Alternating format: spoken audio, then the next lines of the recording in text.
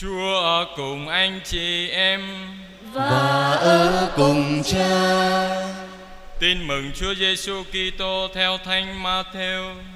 Lạy Chúa, vinh danh Chúa. Khi ấy Đức Giêsu nói với các môn đệ rằng: Khi làm việc lành phúc đức, anh em phải coi chừng chớ có phô trương cho thiên hạ thấy, bằng không anh em sẽ chẳng được cha của anh em đấng ngự trên trời ban thưởng. Vậy khi bố thí, đừng có khua chiêng đánh trống như bọn đạo đức giả thường biểu diễn trong hội đường và ra ngoài phố xá, cốt để người ta khen. Thầy bảo thật anh em, chúng đã được phần thưởng rồi. Còn anh, khi bố thí, đừng cho tay trái biết việc tay phải làm, để việc anh bố thí được kín đáo, và cha của anh đấng thấu suốt những gì kín đáo sẽ trả lại cho anh. Và khi cầu nguyện, anh em đừng làm như bọn đạo đức giả. Chúng thích đứng cầu nguyện trong các hội đường Hoặc ngoài các ngã ba, ngã tư Cho người ta thấy. Thầy bảo thật anh em Chúng đã được phần thưởng rồi. Còn anh khi cầu nguyện Hãy vào phòng Đóng cửa lại Và cầu nguyện cùng cha của anh Đấng hiện diện nơi kín đáo. Và cha của anh Đấng thấu suốt những gì kín đáo Sẽ trả lại cho anh.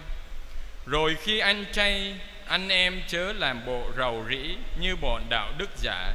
Chúng làm cho ra vẻ thiểu não để thiên hạ thấy là chúng ăn chay. Thầy bảo thật anh em, chúng đã được phần thưởng rồi. Còn anh khi ăn chay, nên rửa mặt cho sạch, phải chải đầu cho thơm để không ai thấy là anh ăn chay ngoại trừ cha của anh đấng hiện diện nơi kín đáo và cha của anh đấng thấu suốt những gì kín đáo sẽ trả lại cho anh đó là lời Chúa Lạy Chúa Kitô, ngợi khen Chúa.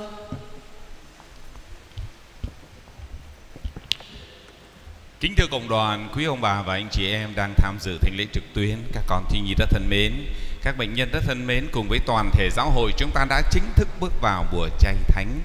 Nếu có ai đó hỏi chúng ta rằng giữa mùa Giáng sinh và mùa chay chúng ta thích mùa nào?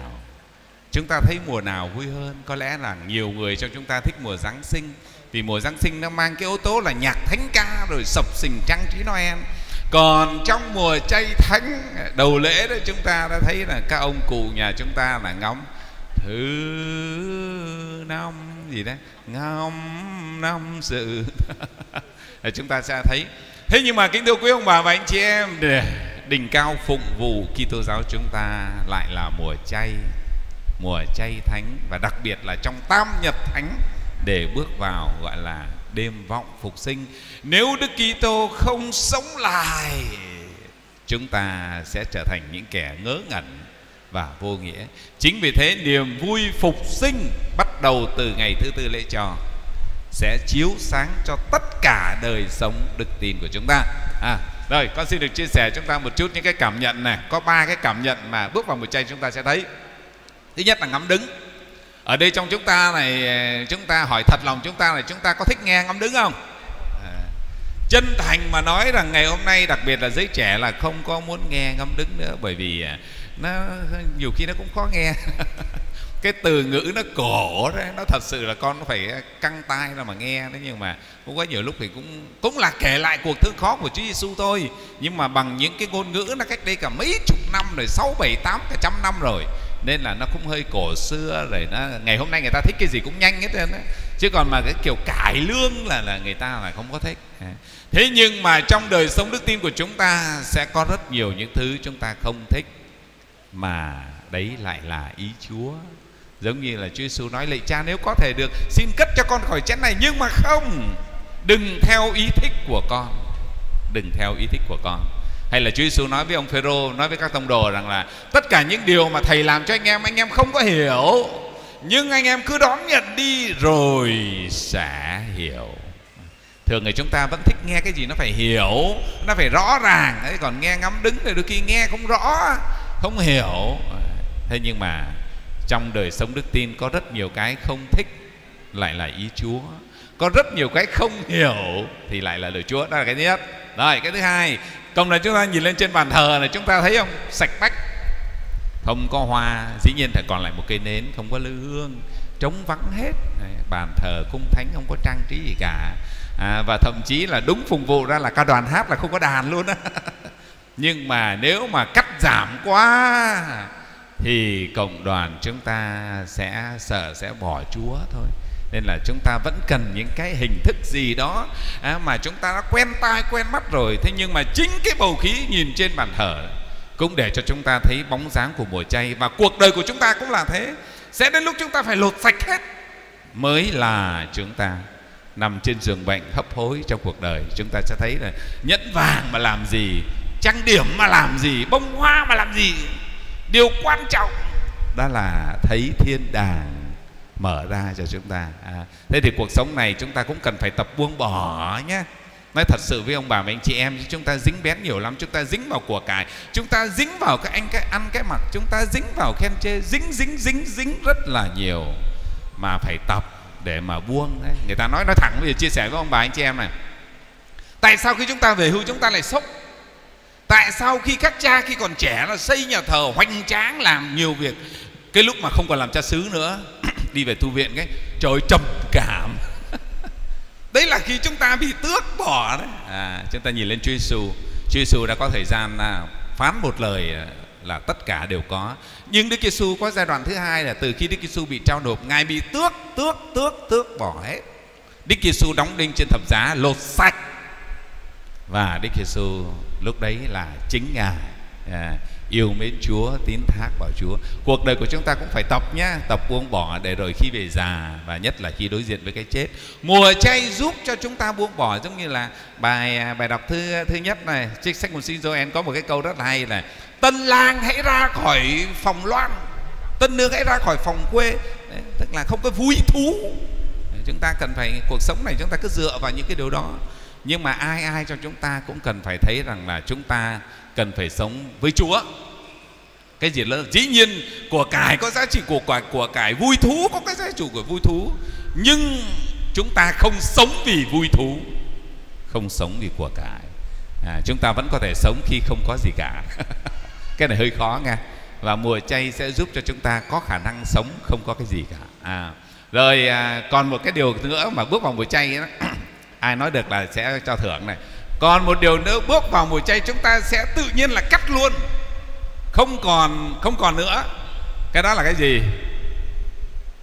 Hỏi à, hỏi các bạn cc cường. Bước vào mùa chay cái là tự động là cắt bỏ luôn. Thưa cha là Hallelujah. chính xác. Cho một tràng pháo tay cho anh à, đoàn trưởng bước vào mùa chay, chúng ta không còn hallelujah nữa, ca tụng chúa nữa. Và điều này cho chúng ta thấy rằng thiên chúa của chúng ta sẽ có những lúc ngài che khuất che khuất. Đấy.